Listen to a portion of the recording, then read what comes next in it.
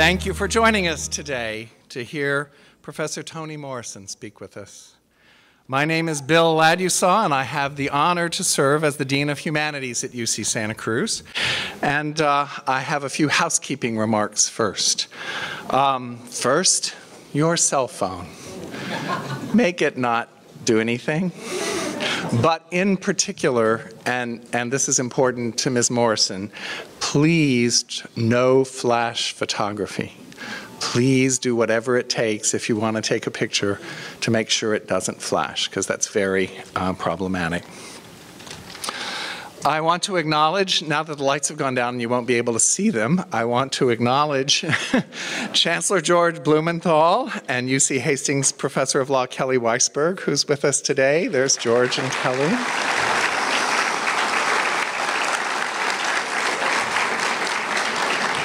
I'm also very pleased that UC Berkeley Professor of History Tyler Stovall, who will assume the position of Humanities Dean in the spring, is also be able to join us as well. So please welcome him back to Santa Cruz.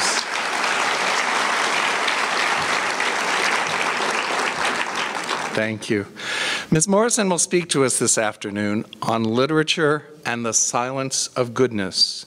At the close of her remarks, I will facilitate a brief discussion period. You've received cards that will be collected for your questions. We be able to ask a few questions. Now, before I introduce the very special person who is going to introduce Ms. Morrison, I want to express a few, you heard, um, a few words of gratitude. I want to acknowledge UC Santa Cruz's Department of Feminist Studies, and in particular, Professor Bettina Aptheker and Professor Gina Dent.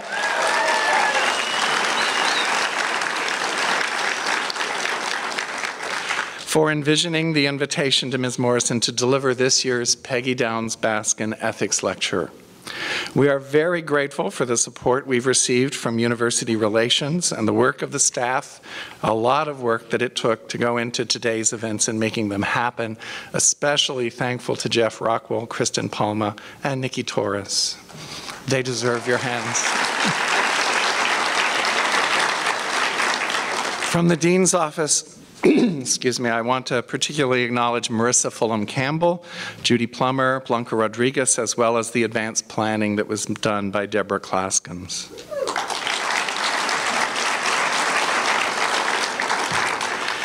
Today's lecture has been made possible by an endowment that was created through the generosity of Dr. Peggy Downes Baskin to promote public and scholarly engagement in the interdisciplinary perspectives on ethical questions across all fields of human endeavor. And I am very pleased that we were able to have Peggy and her husband Jack at lunch today. I don't believe they were able to make it here today, but the communities of the Central Coast continue to benefit in so many ways from their philanthropy, and we are all deeply grateful to them. Thank you in absentia, Peggy and Jack.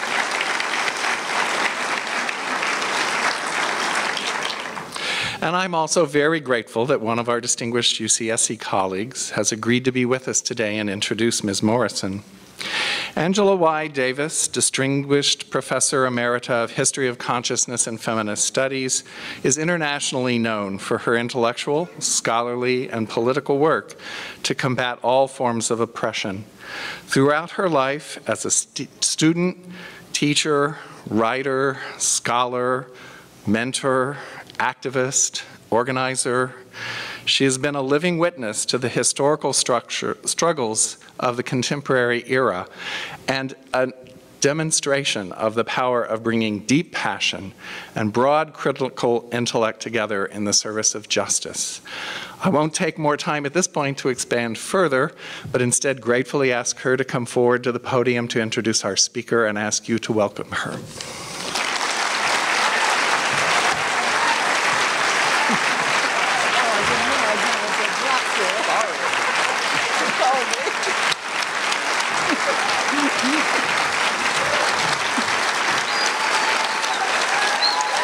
Thank you. Thank you.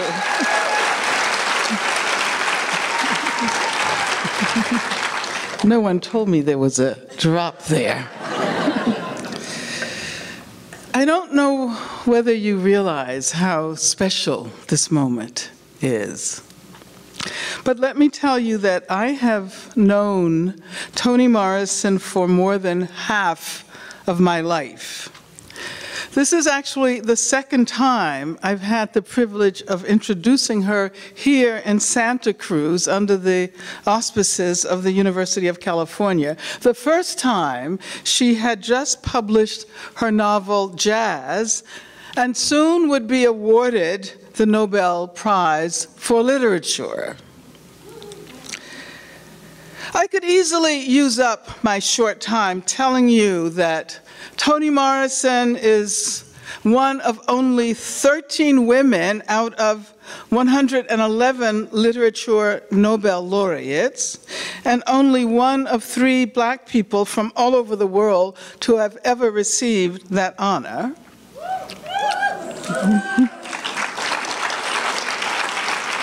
I could also list her novels from The Bluest Eye to Home and her new novel, which will be released in the spring.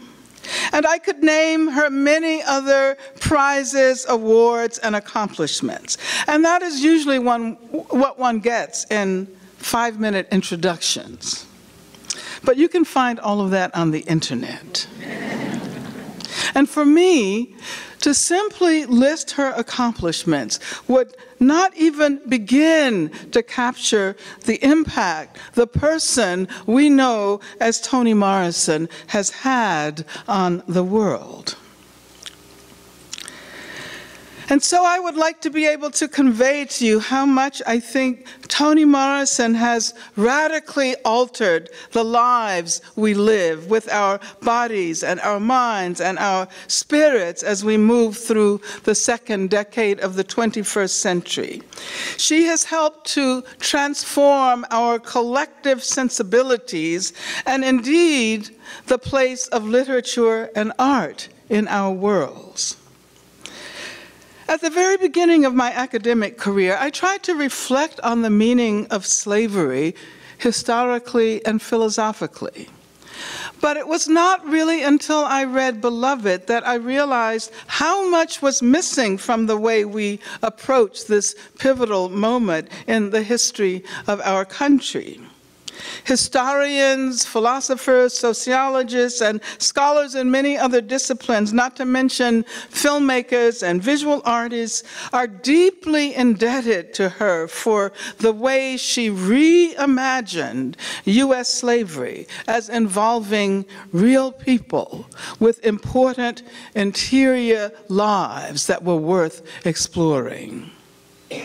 Her work has revolutionized the way people all over the world, in Europe and Africa and Asia and Latin America and Australia, the way they think not only about black people in the US, but how they imagine their own lives, their past, their futures.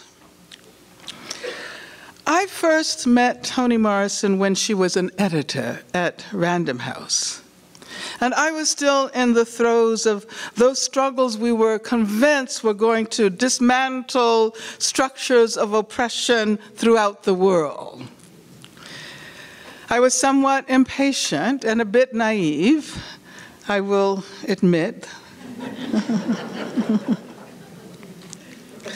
Working with Toni on my autobiography made me realize the significance of the imagination especially since I just wanted to write it all down as quickly as possible without really dwelling on the memories or reimagining them. And so Toni emphasized how important it was to inhabit those memories, dwelling not only on words and concepts, but on the knowledge that emanates from the senses as well images, smells, sounds. The nurturing of a capacity to know differently. That is to say, not only conceptually, but also in ways that fundamentally challenged concept prisons that try to contain and restrain our knowledge of the world. This is what she demands of her readers. And so she has transformed us as readers, but also as human beings. We emerge from an experience, whether with jazz or paradise or home, demanding so much more of the world. Toni is now one of my oldest friends. We live on opposite coasts, so we do not see each other as often as we would like. Sometimes, rarely, relatively rarely, sometimes more frequently. But I always realize that seeing her again is like returning to a really, really good book. The universe she inhabits is a universe of her own creation. And so, whenever I get to spend time with her, it makes me feel like I am allowed to experience a small part of that creative power. And I expect that this evening, we will all be grateful to have spent a short time in that special universe together. Toni Morrison.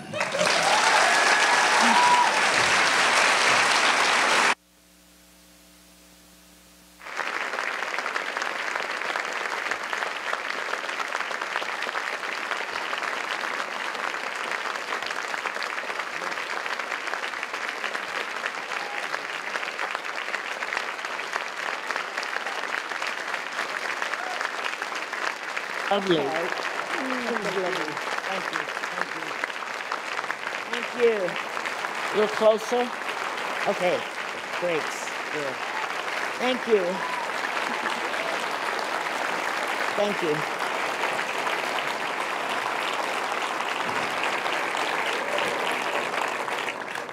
Thank you. Thank you. Well, I'm grateful to the University of California, Santa Cruz, for the honor they are doing me and for the people who made it possible. Obviously, the Baskins, and last uh, night, as well as this afternoon, I've gotten to meet more of the people who are responsible for my being here. And I have to tell you, I've been to California before, several times, but I don't remember it being so nice. I really don't. Maybe I was rushing or going on a tour, but now I'm sitting on a balcony looking at the ocean. Oh, excuse me, the beach. And it's lovely. Who knows? I might come back.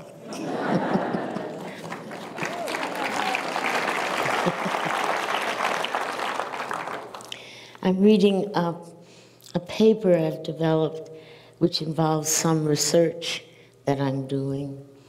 And uh, it's curious to me about how literature, which can inform an entire population, a world, if you will, and the silences that I think I have found in a lot of 21st and 20th century literature about goodness or altruism.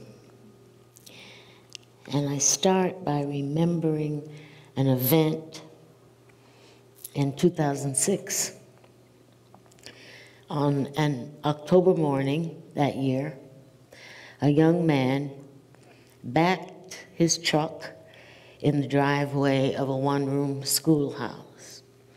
And he walked into the school, and after ordering the male students, these were very young kids, and the teachers, and a few others, adults, to leave, he lined up 10 girls, 9 through 13, and shot them dead. And the absolute mindless horror of that attack drew intense and sustained press, as well as later on books and some film. Now, there had been two other school shootings only a few days earlier. And that should have made this massacre especially notable. But the fact was that its landscape, an Amish community, notoriously peaceful, and therefore the most unlikely venue for such violence, was a point that was consistently made. Now, but before the press narrative and the talk, radio talk, tracked the slaughter, which had been examined to exhaustion in the press, another narrative, another rail, so to speak, surfaced. And that other rail was regarded as bizarre, as shocking as the killings. And that was the fact that the Amish community forgave the killer, refused to seek justice, refused to demand vengeance, and refused even to judge him. They visited and comforted the killer's widow and children who were not Amish, just as they embraced the relatives of the slain. There appeared a number of explanations for their behavior their historical aversion to killing anyone at all for any reason, and their separatists' convictions. But more to the point, that community had nothing, nothing to say, or very little, to any outside inquiry, except one of the ministers said that it was God's place to judge, not theirs. And as one caution, do not think evil of this man. They held no press conferences. They submitted to no television interviews. They quietly buried the dead, attended and supported the uh, killer's widow, arranged for his funeral, tore down the schoolhouse, and built a new one. Now, what struck me, and of course parts of the press, was the silence. That silence, following that slaughter, along with their very deep concern for the killer's family, seemed to me at the time characteristic of what I was calling genuine goodness. And I just became fascinated with the term and the definition. So I did a little research, and no one was uninformed as I was. But thinkers have a long time analyzed what constitutes goodness, meaning what good is good, and what its origins are or may be. And I read a myriad of theories which overwhelmed me. And to reduce my confusion, I thought, why don't I just do some research on the term altruism? So that was even more frustrating. I went to this plethora of definitions and counter definitions.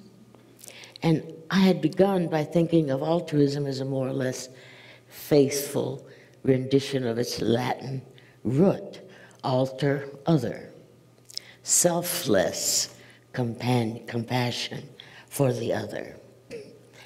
But that root in the research was not just narrow, it just led to this bouquet of inter- interpretations, a bouquet of contrary analysis, and a lot of doubt. And a few of these arguments posited wildly different explanations. One,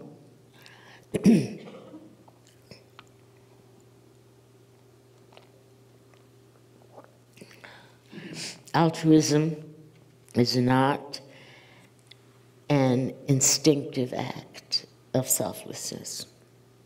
It's taught. and it's learned. Two, altruism might actually just be narcissism, ego enhancement, even a mental disorder made manifest in a desperate desire to think well of oneself or to erase or to diminish self loathing. Third, some of the most thought provoking theories came from scholarship investigating the DNA, if you will, seeking evidence of an embedded gene versus the selfish gene that automatically fired to enable the sacrifice of oneself for the benefit of others, a kind of brother to Darwin's survival of the fittest. And so examples of confirmation or contradiction to the Darwinian theory came primarily from the animal and insect kingdoms. You know, squirrels deliberately attracting attention to themselves so that the predators do not kill or harm the group. Uh, birds, ants, bees, bats, all of them, any history of them, you notice that they distract the enemy, one. And you know, you kill an ant and just wait a little while. and an hour later, another ant will come and get that body and carry it away. And there are infinite examples in uh, insect world and the natural world. Service to the colony, service to the collective, the swarm, and such behavior is very common among humans, particularly in war. You know, people throw themselves on grenades. But the question being put seemed to be whether such sacrifice for kin and or community is innate, built, as it were, into our genes, just as individual conquest of others for whatever purposes seems to be a natural instinctive drive that serves evolution. Is there a good gene along with a selfish gene? The further question for me was the competition, still is, between the gene and the mind. All right, I was unable and ill equipped to understand much of that scholarship on altruism, but I did learn something about its weight, its urgency, and its relevance and irrelevance in contemporary thought.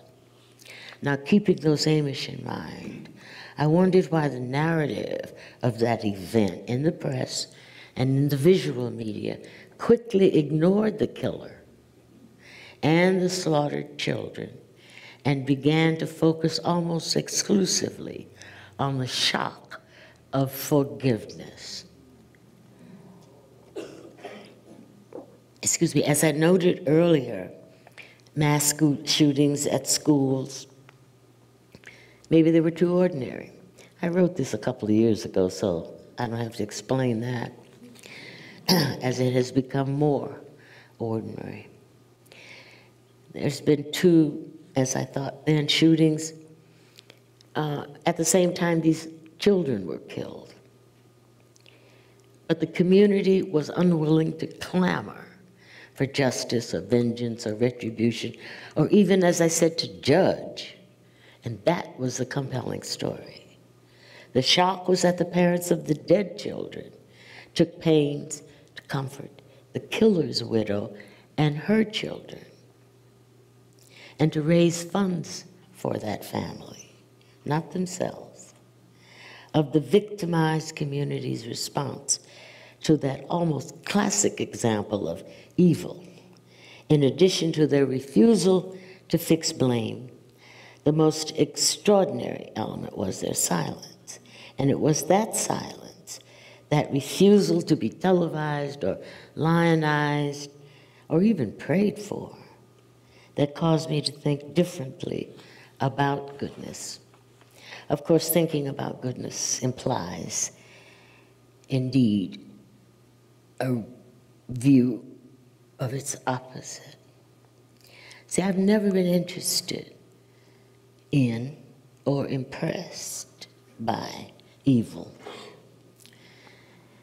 But I have been confounded by how attractive it is to others. And I am stunned by the attention given to its every whisper and its every shout, which is not to deny its existence and ravage, nor to suggest evil does not demand confrontation, but simply to wonder why it's so worshiped, especially, and this is in my area, now I'm not talking about life, in literature. Is it its theatricality that is evil, has this theatrical mane? It has a costume, and it has blood spray. The emotional satisfaction that comes with its investigation is more than its collapse. It's the ultimate detective story, the paradigm mur- uh, mi- murder mystery. And I thought, well, it's how evil dances, the music it inspires, its clothing, its nakedness, its sexual disguise, its passionate howl, and its danger. The formula in which evil reigns is bad versus good, but the deck is stacked because goodness in contemporary literature seems to be always equated with weakness as pitiful. You know, the girl running frightened and helpless through the woods while the pursuing villain gets more of our attention than her savior. Evil has a blockbuster audience, and goodness sort of lurks backstage. Evil has vivid speech, goodness bites its tongue. It's Billy Budd who could only stutter. It's Coetzee's Michael K. with a hairlip that so limits his speech communication with him is virtually impossible. It's Melville's Bartleby confining language to repetition. It's Faulkner's Benjy, an idiot. Rather than rummage through the exquisite and persuasive language of religions, all of which implore believers to rank goodness as the highest and holiest of human achievement, and many of which identify their saints and icons of worship as examples of pure altruism.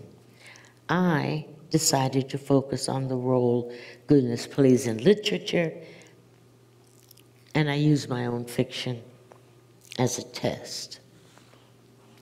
19th century novels, more or less, regardless of what acts of wickedness or cruelty, indifference controlled that plot. And the ending was always, almost always, a triumph, a happy ending of goodness. Dickens, Hardy, Austen, those writers left their readers with a sense of the restoration of order and the triumph of virtue. Even Dostoevsky, you may remember Svidrigailov in Crime and Punishment, this really, really evil man who decided all of a sudden to stop being a murderer, rapist, whatever else he was doing, and to be good. So he ran up and down giving money freely to beggars and being nice and not asking anything. And it bored him so. He killed himself. Oh, he was exhausted at some point by his own evil. More importantly, the language that supports it. He got so upset by these terminal acts of charity, he was forced to just leave life altogether. because he could not live without the language of evil, nor within the silence of good deeds.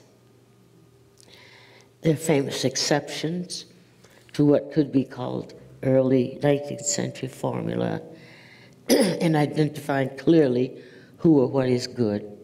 Don Quixote, Candide, both of which mock the search for pure goodness. Other exceptions to that formula are sort of puzzles in literary criticism, as was Melville's Billy Budd and Moby Dick, both of which support multiple interpretations regarding the rank, the power, the meaning that goodness is given in these texts. The consequence of Billy Budd's innocence is execution. Is Ishmael good? Is Ahab a template for goodness fighting evil to the death? Or is he a wounded, vengeful force outfoxed by indifferent nature, which is neither good nor bad? Innocence, represented by Pip, we know is very quickly abandoned and swallowed by the sea without a murmur. Generally, however, in that literature, whatever the forces of malice that the protagonist is faced with, redemption and the triumph of virtue was his or her reward. The scenes of redemption may be very short, but nevertheless, that's the way the narrative often closed. 20th century novelists, however, were very unimpressed. The movement away from happy endings or the enshrining of good over evil was rapid and stark after World War I. That catastrophe, it seems to me, was too wide, too deep to ignore or to, to distort with a simplistic gesture of goodness.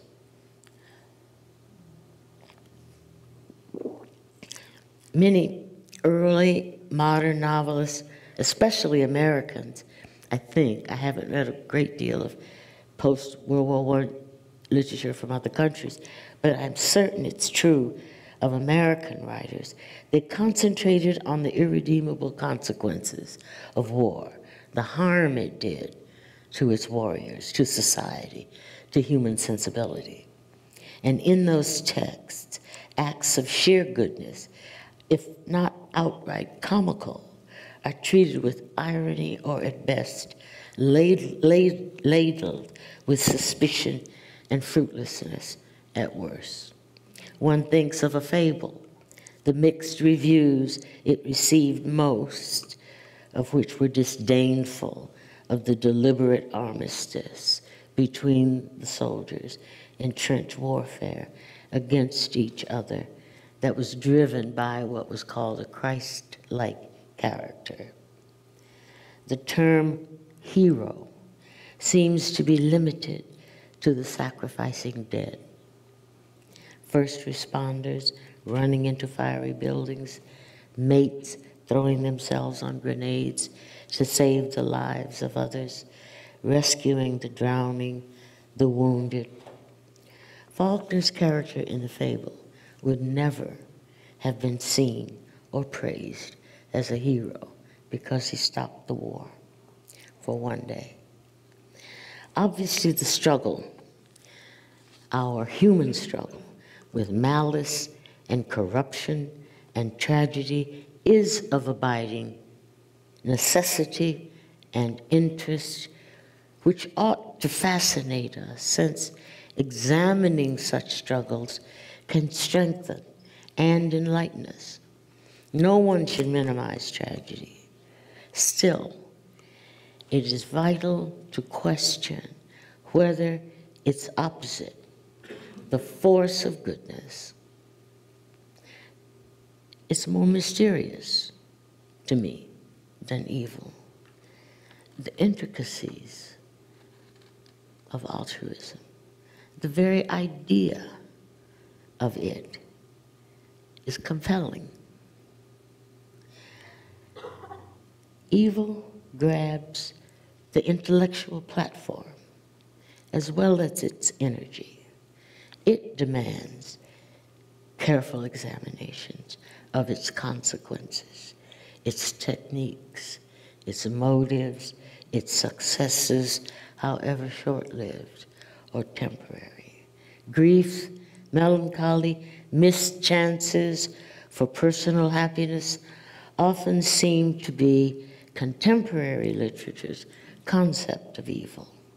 It does hog the stage, and goodness does sit in the audience and watch, assuming it even has a ticket to the show. A most compelling example of this obsession with evil is Umberto Eco's The Prague Graveyard. It is brilliant, but never have I read a more deeply disturbing fascination with the nature of evil.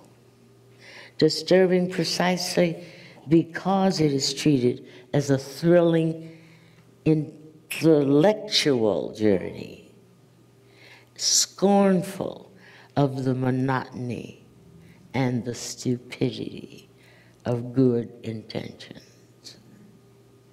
Contemporary literature is not interested in goodness on a large or even limited scale. And when it appears, as I suggested earlier, it's with a note of apology in its hand, and it has a hard time speaking its name. For every To Kill a Mockingbird, there's Flannery O'Connor's Wise Blood, or A Good Man is Hard to Find. Striking goodness down with a well honed literary axe. Many of the late 20th, early 25th, early 21st literature heavyweights, Philip Roth, Norman Mailer, Saul Bellow, etc., are masters as at exposing the frailty, the pointlessness, the comedy of goodness. There is one author that seems to me to take goodness seriously, and that's Marilynne Robinson.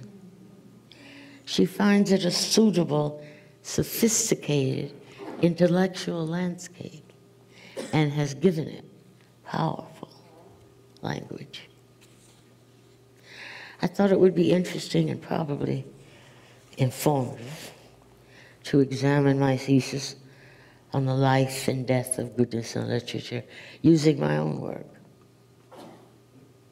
You know, just to measure, clarify my understanding by employing the definitions of altruism that I gleaned from my tentative research. So I selected the three that I mentioned. Goodness has taught and learned the habit of helping strangers or taking risks for them. Goodness as a form of narcissism, ego enhancement, or even a mental disorder. Three, goodness as instinct as a result of genetics, protecting one's kin, one's community, one's group as an example of one, the learned habit of goodness. I found it in the book I wrote called A Mercy. There's a priest in that book who teaches female slaves to read and to write. And he does it while they're all hidden. And he does it at some danger to himself.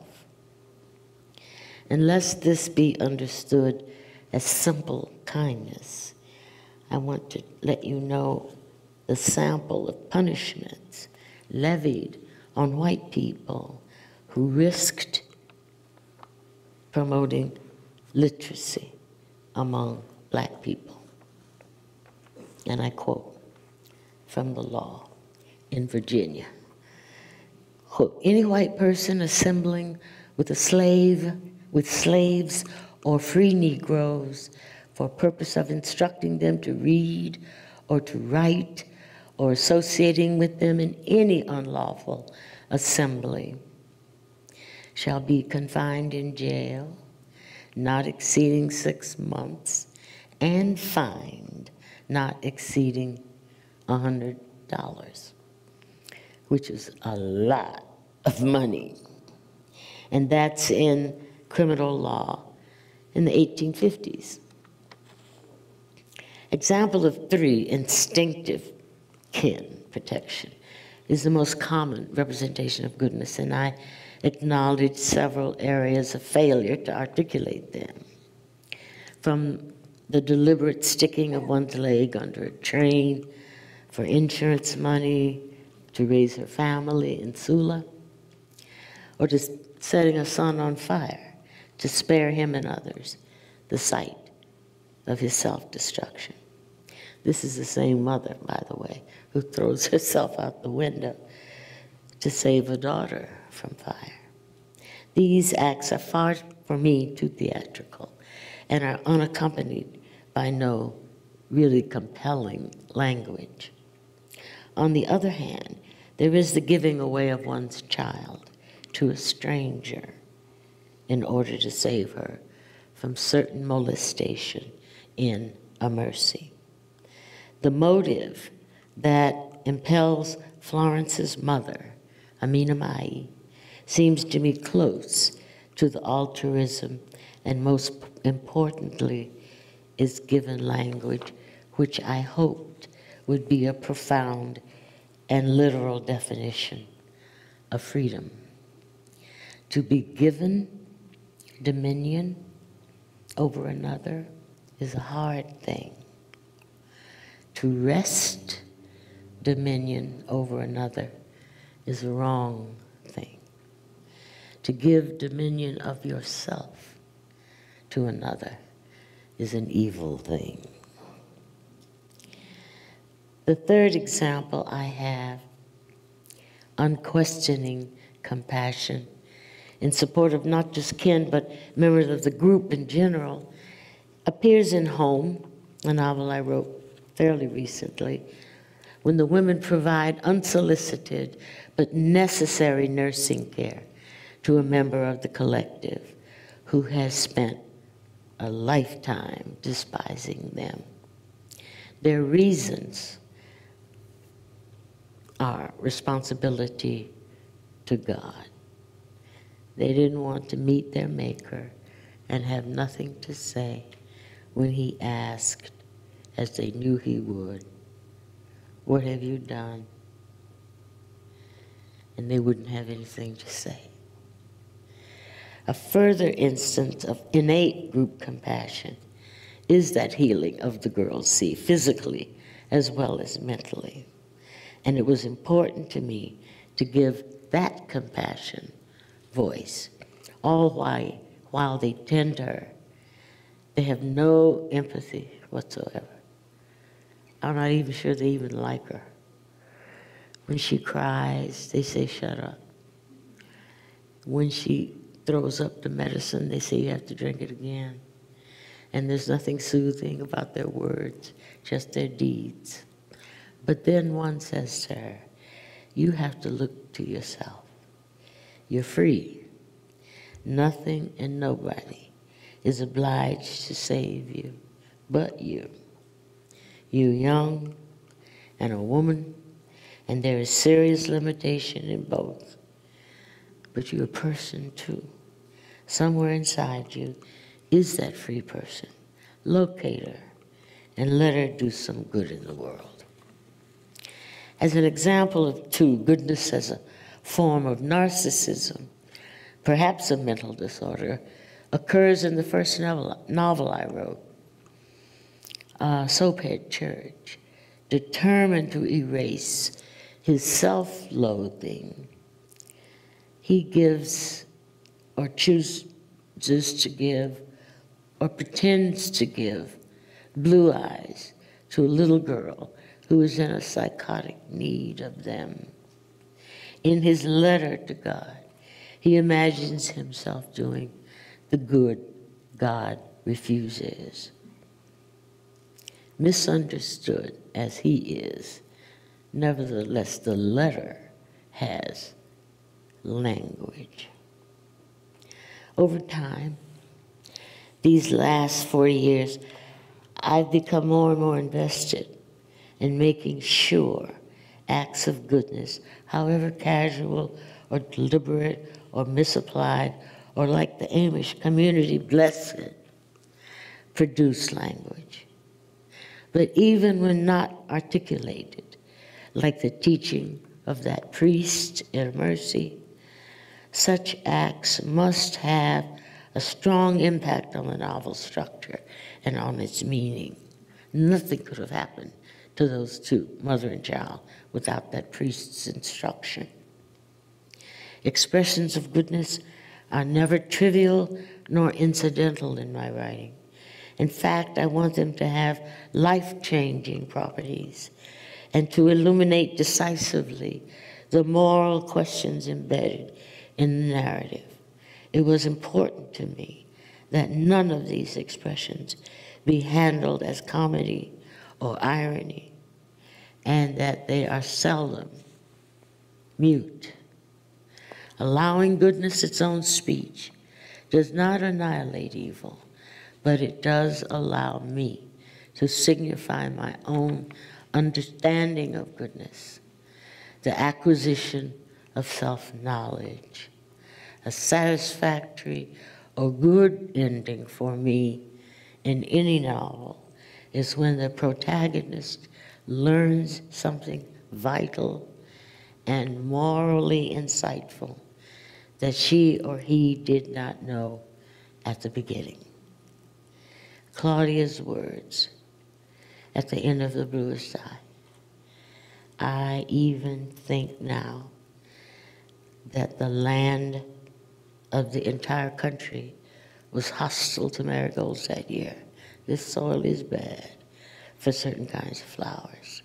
Certain seeds it will not nurture. Certain fruit it will not bear. And when the land kills of its own volition, we acquiesce and say the victim had no right to live. We're wrong, of course, but it doesn't matter. It's too late. At least on the edge of my town, among the garbage and the sunflowers of my town, it's much, much, much too late.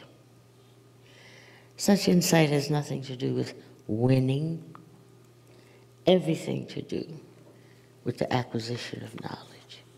Knowledge on display in the language of moral clarity or goodness.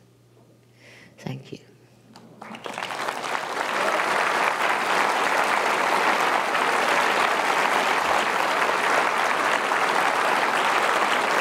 Thank you.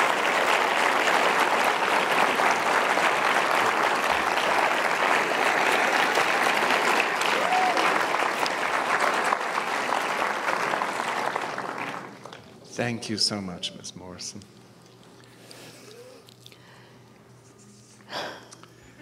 When talking about inner feelings of rage that stem from experiences of racism, sexism, and so on, it's hard to think of goodness um, and act with goodness. How do you think altruism is described as egotistical or selfish plays into this mindset? How can we, young black women, may, sorry, um, I'm sorry, it's hard to read this. How, how can we move toward healing and goodness? That's simple.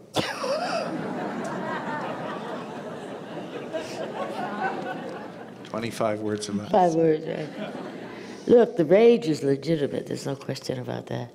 And there's no point in stopping it. It's what you do with it. afterwards, you know. You don't want to deny, you know, that feeling of um, being punished uh, for something of which you are not guilty. Or even if you are, you're punished outrageously. Uh, you don't want to stop that. What you want to do is manipulate it. I have to say that when I was very young, uh, you know, people called us names and we called them names, whatever, you know, little kids in a mixed community. But I always thought, as a teenager, when I learned more and more about the restrictions placed on African Americans, I always thought they were kidding. I thought, they're kidding. And when I went off as a freshman, I was in Washington, D.C., and they had separate what? I can't sit here and sit there. I can't put on a hat in the department store.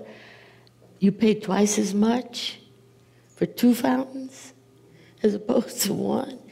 It was sort of odd, you know, it was, now mind you, I was not in an area in which it was dangerous, but I might have changed.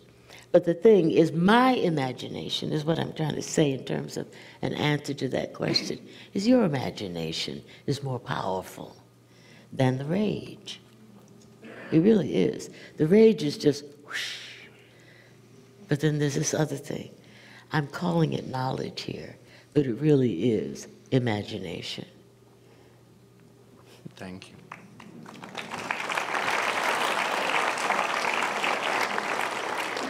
Do you have any thoughts or tips to share about how we can teach children today about goodness in the world we live in? No. but I have to say one thing. I'm not going to say it's all over, but um, when I was in the first grade, we read a book that said, sort of like the little lines in the blue sky, run, Gyp, run. Uh, Alice lives in a greenhouse. You know, Billy lives in a, you know, that. that. But then I learned that 50 years earlier than that, 80 years earlier than that, the primers that people taught were as follows. This is the opening sentence of a primer. The wages of sin is death. I thought, I just think about that. Who cares if this dog ran from one area to another? The wage, I don't what is wages? What is this? No, we have dumbed down the children. And they're just looking at us like, what? I, I have no, no um, solutions. I have no formula. I just know that the kids are really better, smarter than we give them credit for. Mm, yes. So, what happens when icons of goodness like Gandhi, Mother Teresa, get turned into symbols and logos and given a more corporate interpretation or commercial interpretation? How do, how do we see how to, uh, that role of goodness as it gets picked up in uh, hypermedia in this way? It's true. The, the good thing about good thing about uh, Teresa, uh, Sister Teresa and Mahatma Gandhi, they're dead. So that's space. We could move them over there as a kind of, you know, Christmas trees or other icons. When they were alive, they had a lot of trouble. A lot. And it's that we ought to revere and think about and join, you know, uh, when you because it's just easier when they're not here, and we can sort of wax nostalgic. Oh yeah, I remember Mother Teresa said, I thought this was a hoot. She would hold sick children. She said, "Oh, I love to see them die." What? Nevertheless, she did good work.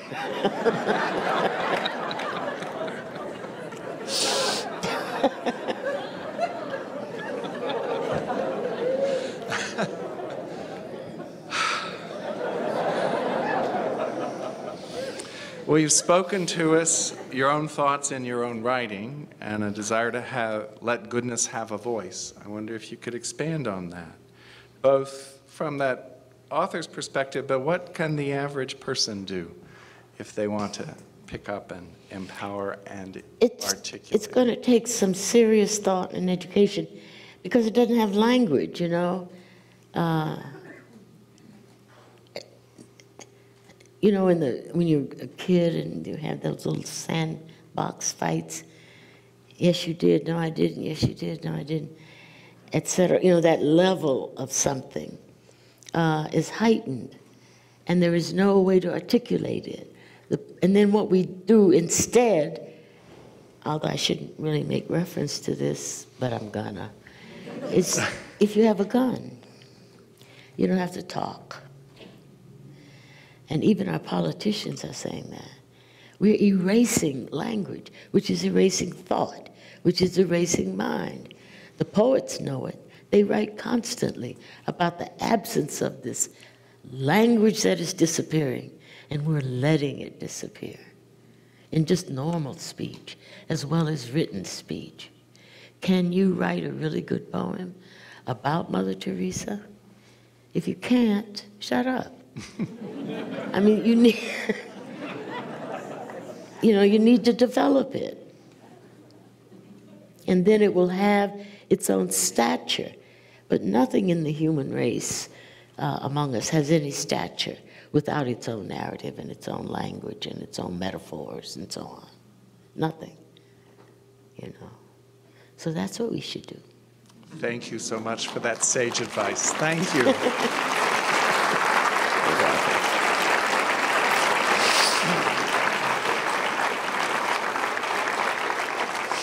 Where's my Pusher? Oh, I'm sorry. Well, I, I was going to give you an out there, but I'll, I've got one more here. I forgot. You've, we always look for happy endings, and you've made that we focus on evil.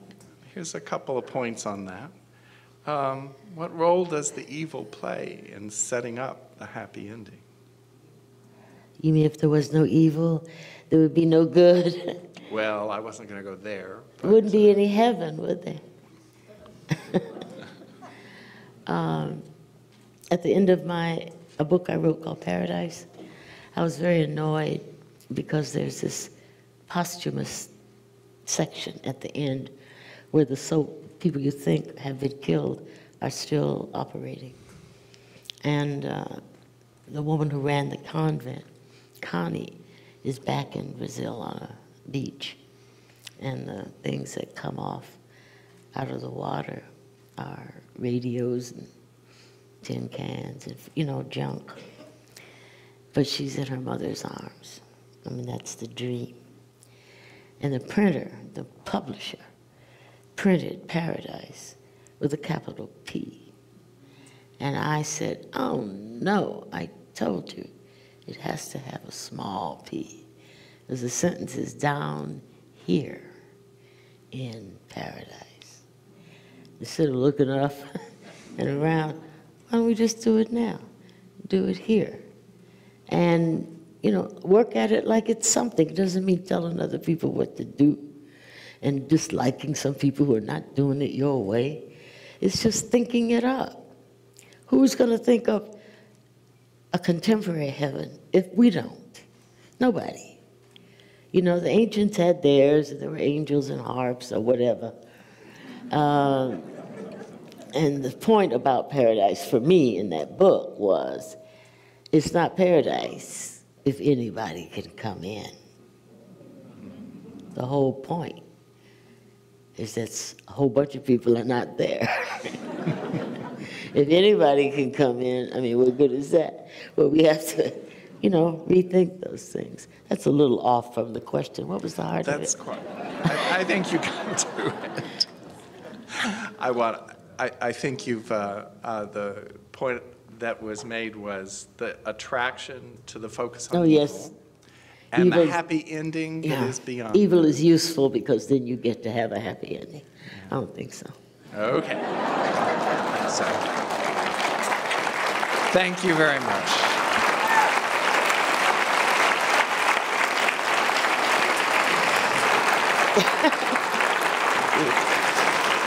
Thank you.